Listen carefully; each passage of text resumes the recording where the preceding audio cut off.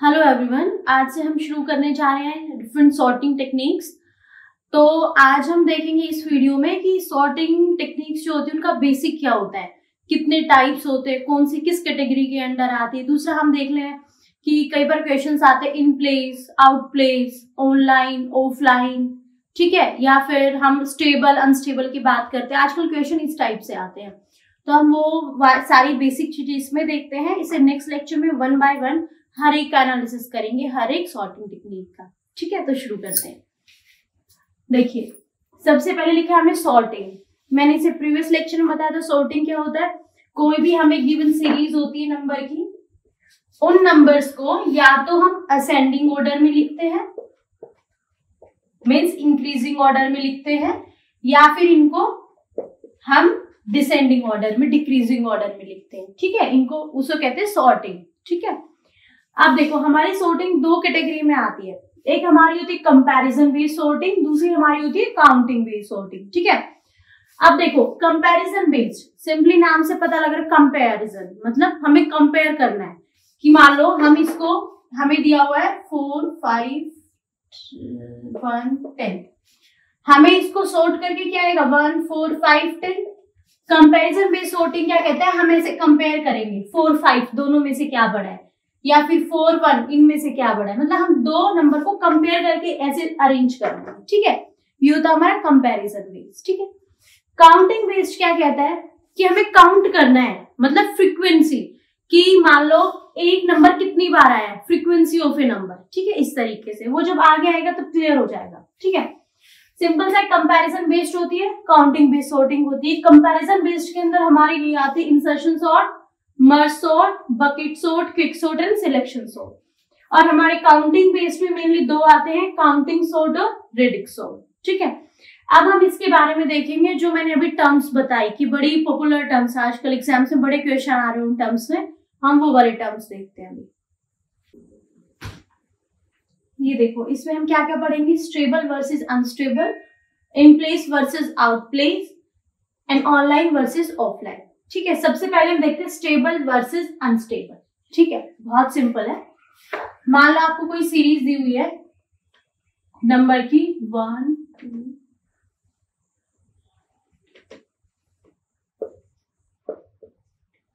ठीक है। ये ना हमारे असेंडिंग ऑर्डर में, ना हमारे डिसेंडिंग ऑर्डर में। ठीक है, हमें इसको क्या करना है सॉर्ट करना है, कोई भी टेक्निक यूज़ करके। ठीक है तो हमारा स्टेबल क्या कहता है? पहले ये, इसको मान लो टू दो बार ही आ रहा है, इसको टू वन मान लो, इसको टू टू मान लो। कह रहा है आफ्टर सोर्टिंग जब हम सोर्टिंग कर चुके, उसके बाद क्या होगा, ये ऑर्डर कि सॉर्टिंग करने के बाद हमारा जो ऑर्डर है, जो फ़र्स्ट जो पहली बार टू वन आया है, वो पहली बार ही आएगा। मतलब जो फ़र्स्ट अकरेंस है इसकी वो पोजीशन यही रहेगी सेकंड वाला इस फ़र्स्ट वाले के बाद ही सॉर्टिंग में आएगा। ठीक है? सिंपल है। हमें कोई भी सीरीज़ दी हुई है नंबर की। स्टेबल मतलब अपनी पोजीशन पे स्टेबल है, टिका हुआ है। ऐसे नहीं कि कहीं भी आगे पीछे आ गया। ठीक है? तो सॉर्टिंग तो सिंपल है। हमने किसमें? असेंडिंग ऑर्डर में सॉर्ट कर दिया। बट स्टेबल क्या कहता है कि जो ये वाला दो, ये वाला आगे रहेगा और ये वाला पीछे रहेगा। इस सीरीज़ में जो टू आगे, वो आगे रहेगा, जो पीछे, वो पीछे रहेगा। ठीक है? इसी तरीके से मान लो हमने इसमें एक और हमने ले लिया फाइव इस तरीके से। ये फाइव फ़र्स्ट पोजिशन पहले वाला फाइव है, ये सेकेंड टाइम वाला फाइव है। तो इसमें क्या आएगा? सबसे पहले फाइव फ़र्स्ट टाइम वाला फाइव आएगा, उसके बाद ये वाला आएगा ठीक है? तो हमारा स्टेबल क्या कहता है? आफ्टर सोर्टिंग जो ऑर्डर है हमारा सीरीज़ में गिवन एलिमेंट्स का, वो सेम रहेगा। ठीक है?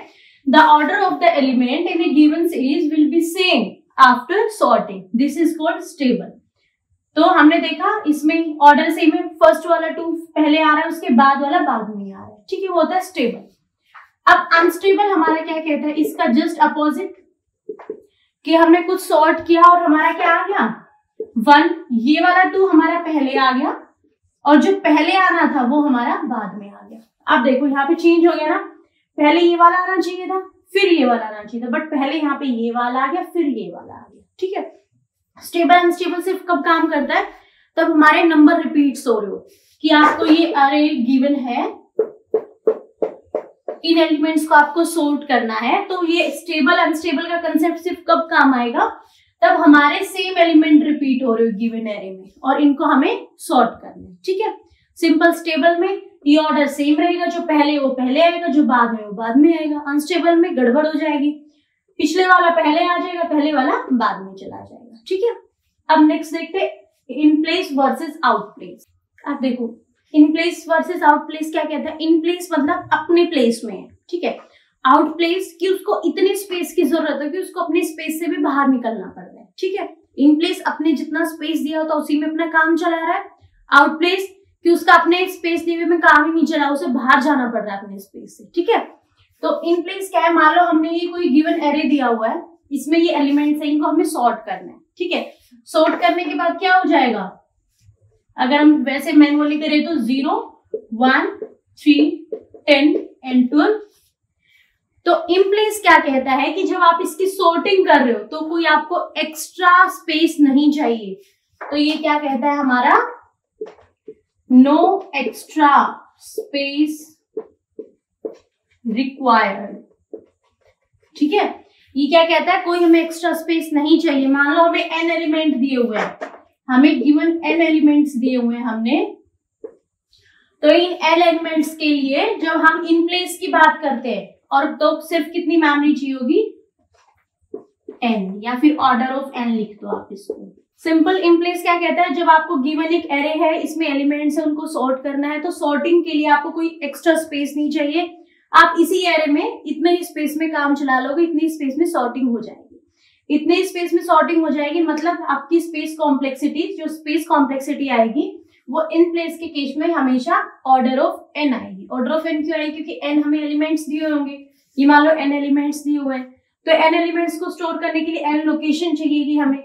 तो ऑर्डर ऑफ़ एन ही चाहिए। ठीक है? इन प्लेस में हमेशा ऑर्डर ऑफ़ एन रहेगी। जितने नंबर ऑफ़ एलिमेंट्स रहेंगे, उतनी हमारी स्पेस कॉम्प्लेक्सिटी रहेगी। ठीक है? अब देखो आउटप्लेस हमारा क्या कहता है? आउटप्लेस कहता है कि मान लो आपको इसे सोर्ट करना था। तो हमें एक्स्ट्रा स्पेस की ज़रूरत पड़ी। आउटप्लेस क्या कहता है? एक्स्ट्रा स्पेस रिक्वायर्ड ठीक है? इन प्लेस एक्स्ट्रा स्पेस की ज़रूरत नहीं है आउट प्लेस आपको एक्स्ट्रा स्पेस चाहिएगा सोर्टिंग के टाइम ठीक है? अब पैनिक मत होना, यहाँ पे समझ आ रहा हो, जब एक एक टेक्निक करेंगे तो हमें पता लग जाएगा इन प्लेस हमने क्यों बोला आउट प्लेस हमने क्यों बोला, ये सब चीज़ें हमने क्यों बोली, ठीक है? ध्यान रखने की बात है इन प्लेस सेम स्पेस में काम चल रहा है आउट प्लेस आपको एक्स्ट्रा स्पेस चाहिए, ठीक है? नेक्स्ट करते हैं ऑनलाइन वर्सेज ऑफलाइन अब हम देखो online versus offline online offline online simply आपने देखा होगा, हम मेनली जनरली कैसे पढ़ते हैं ऑनलाइन फ़ोन पे? हम एक टॉपिक सर्च करेंगे, ठीक है? वो आ जाएगा, हम उसे पढ़ लेंगे। फिर नेक्स्ट टॉपिक सर्च करेंगे, उसे पढ़ लेंगे। फिर नेक्स्ट करेंगे। पहले वाला तो हमारे पास रहता नहीं है। ऑफलाइन सिंपली मान लो हम एक बुक उठाते, किसी मान लो डेटा स्ट्रक्चर की बुक उठाई, सारे टॉपिक्स हमारे पास एक साथ है, हम मन चाहे वही टॉपिक पढ़ सकते हैं, ठीक है? यहाँ पे इतना टिपिकल मीनिंग ये बड़ा सिंपल सा है। ऑनलाइन क्या होता है? जब आपको जितने नंबर सॉर्ट करने मान लो आपको ये नंबर सॉर्ट करने हैं आपको ये पहले बोल दिया कि इतने नंबर को सॉर्ट करो। फिर एकदम से इन बिटवीन ये नंबर दे दिया। फिर इन बिटवीन ये नंबर दे दिया। ठीक है? तो ऑनलाइन क्या होता है? जब आपको जो नंबर सूट करने हो, एकदम से आपको ना मिले धीरे धीरे ज़्यादा से ज़्यादा मिलते रहे। एकदम से आपको नहीं दिए, थोड़ी देर बाद कह दिया, इसको भी सॉर्ट करो इस सीरीज़ में। थोड़ी देर बाद कह दिया, ये नंबर भी ऐड कर दिया। ठीक है? वो क्या होता है हमारा? ऑनलाइन सॉर्टिंग अब आता है ऑफलाइन ऑफलाइन सॉर्टिंग हमारा होता है जो जो नंबर हमें सॉर्ट करने वो एक साथ हमारे प्रेजेंट हो। मान लो हमें बोल दिया कि नंबर्स को सॉर्ट करो। हम सिंपली सॉर्ट कर देंगे। तो मेनली जितने भी हम अपने सॉर्टिंग टेक्निक्स पढ़ेंगे, वो सारी हम किसमें पढ़ेंगे? ऑफलाइन की। वो हम ये वाली पढ़ेंगे। ठीक है? और इन सब में कुछ स्टेबल होगी, कुछ अनस्टेबल होगी, कुछ इन प्लेस होगी, कुछ आउट प्लेस होगी। तो एक बार ब्रीफ लेते हैं। सॉर्टिंग टेक्निक्स दो पार्ट्स में होती है कंपैरिजन बेस एक काउंटिंग बेस कंपैरिजन बेस में हमारे जैसे इंसर्शन क्विक मार्ज और सिलेक्शन ये सब आ जाते हैं। और जो हमारी काउंटिंग बेस होती है, वो सिंपली होती है फ्रीक्वेंसी पे कितने नंबर ऑफ़ टाइम्स एक एलिमेंट आया है, ठीक है? तो वो हमारे मेनली हम रेडिक सॉर्ट पढ़ते हैं और काउंटिंग सॉर्ट पढ़ते हैं। अब दूसरी चीज़ हमने क्या पढ़ी? ये छह term stable versus unstable stable मतलब जो आपको नंबर ऑफ़ गिवन एलिमेंट्स है, वो स्टेबल है। मान लो दो बार टू दिया, एक बार यहाँ है, एक बार यहाँ। तो जब आप सोर्टिंग करोगे तो ये टू पहले आएगा, पिछले वाला बाद में आएगा। ये होता है स्टेबल अनस्टेबल में क्या हुआ? जो पहले आपको ये टू यहाँ दिया हुआ था, ये टू यहाँ दिया हुआ था बट आपने सोर्टिंग की तो ये टू आगे आ गया और ये टू पीछे चला गया। वो होता है अनस्टेबल ठीक है? अब हम चाहते हैं कि हम हमेशा स्टेबल मतलब वो तो कोई भी आ जाए बट मोस्टली हम स्टेबल चाहते हैं, ठीक है? In place out place in place मतलब अपने स्पेस में उसका काम चल रहा है आउट प्लेस मतलब अपने स्पेस में काम नहीं चल रहा। सोर्टिंग के लिए उसे एक्स्ट्रा स्पेस चाहिए, ठीक है?